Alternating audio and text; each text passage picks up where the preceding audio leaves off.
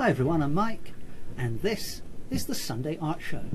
This week I want to show you how I created this loose and lively watercolour painting of the seafront at Budleigh Salterton uh, during rather stormy conditions.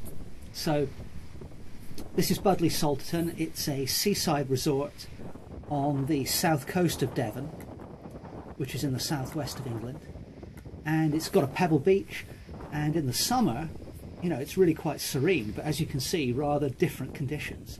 And the sea's churning up all of the red uh, rock and red sand in the area. So, an unusual colour scheme as well.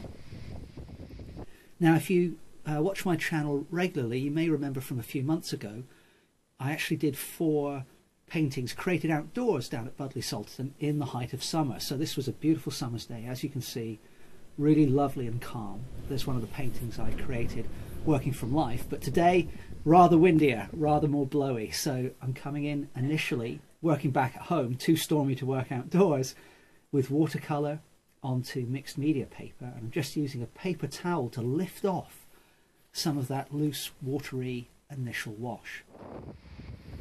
Now this is the view I'm actually going to paint. So looking down the, the road which goes down the seafront there. And I'm beginning with no initial drawing whatsoever no pencil lines or anything like that.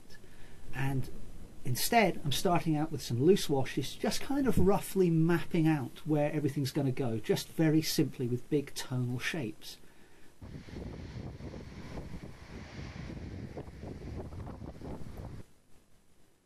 So the sea is kind of an orangey rust red, but I'm just coming in with a, a little bit of a more vibrant red initially and I'm using the big mop brush, the synthetic mop brush that I got from Jackson's a while ago, so I'm still using that. But now I've switched to one of the art discount, kind of a little bit. I thought I'd pop this in just because it caught me uh, just talking to myself as I painted. I thought that was a bit quite funny. Um, so yes, I'm, I'm back on the art discount synthetic brush here, and that's a little bit of a finer point. But both brushes work really well for watercolour. I really enjoy using both. Um, and one of the things I'm doing, you can see I'm moving my brush quite quickly, and I think that's generally speaking a good tip for painting in watercolour. You want to really, you know, put it on quick, and then see what happens, and you know, lift it off if it goes wrong. You know, it, it's um, it's not that big a deal. I'm just putting in a few of the little posts here on the seafront to kind of add a sense of perspective to the foreground. And you can see I'm not doing an exact copy of the arrangement. I'm just picking out those key few posts that I want to include and putting them where I think they look good. And the sky that we just saw is rather more ominous and darker than, than what I have in my painting so far. So that first wash has dried and I'm adding on a darker wash now just by rolling the brush across the painting. And again, you know, I'll lift off some of that with a paper towel and move it around a bit. Now, the south coast of Devon has these very characteristic red rock cliffs. So again, I'm enhancing the red on the cliffs compared to what I had before, keeping my brushwork nice and loose and kind of letting the drying marks within the, within the paint create some automatic texture for me. Big sweeping brush strokes again for the pebble beach. Now, of course, when we're there, you can see individual pebbles, even if you're standing up high like I was. But for the painting, we don't want to worry about any of that. Just put in some sweeping lines to capture the, the bigger regions of tone.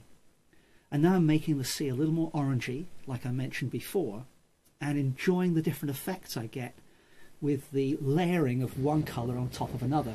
And that's one of the great beauties of transparent watercolour is you can get all these colour mixing effects. So I gradually start working around the whole painting now, adding more and more detail here and there, but very selectively. So for example, with the car there, I just added a few uh, little bursts of colour like the, the brake lights on the back. Made the sky, sky even darker on the right and on the foreground of the pebbles, which I was just laying in then. Now there's a little patch of green there as well, and I thought it would be nice to include that on the edge of the pebbles to contrast with the reds. Adding some shadows in the foreground, just a quick indication of some lampposts and pedestrians on the pavement. To be honest, those pedestrians are little more than quick marks. They're barely even figures, but it adds a sense of depth because the eye just quickly looks and assumes they're people. A few other details like upturned boats which are lying on the pebbles and a little more texture in the rock face. So I'm kind of working around the very loose painting that I put down initially and then just tightening up certain areas, but just here and there. So, for example, with the buildings I'm working on now, I haven't copied the buildings as they are. I've just picked out a few buildings and picked out a few windows here and there to give the sense that there are buildings on the hillside.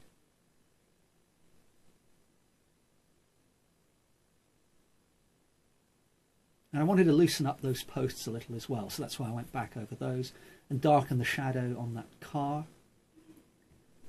So the watercolour aspect, you know, I've got maybe three or four layers of paint perhaps in some areas and just one layer of paint in others.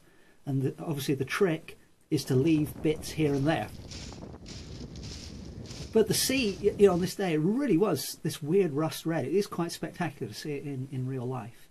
Um, and having let the watercolour dry, I'm just coming in with some pure titanium white interactive acrylic just to create some of the white water. Not too much, just a little touch here and there. And then to keep things consistent across the picture, a few white highlights on the railings and a little bit on the car as well. And then I always love this moment when you peel the tape off of a watercolour, paper, watercolour painting to leave that white border. That's a, that's a really nice feeling, I think, that you don't always get um, if you're working on canvas or something like that. So this painting I think I'm going to call the Red Storm. I quite like that idea, or I might call it Red Storm at Budleigh. Haven't quite decided yet. There's the full painting, which I like. Gives this sort of open expanse of the sea.